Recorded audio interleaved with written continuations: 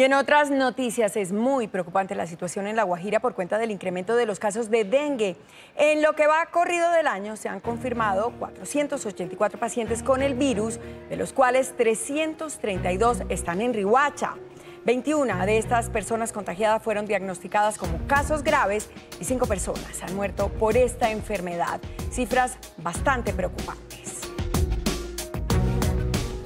Precisamente a esta hora vamos a Río Hacha, donde en las últimas horas se conoció la muerte de una menor por causa de este virus. Jorge Real, usted tiene todos los detalles de este triste caso. Adelante. Buenas tardes. Televidentes, el dengue cobró una nueva vida en la capital de La Guajira. Se trata de una menor venezolana de 5 años que había sido trasladada al hospital Rosario Pumarejo de López de Valledupar el pasado fin de semana. A la fecha, las autoridades han confirmado la muerte de cinco menores por esta enfermedad. Sí, ya está confirmado, es una niña que era migrante venezolana, eh, fue remitida a la ciudad de Valledupar, pero ya cuando llegó a la institución, pues la niña llevaba un cuadro muy complicado de dengue, del cual no se pudo pues reponer.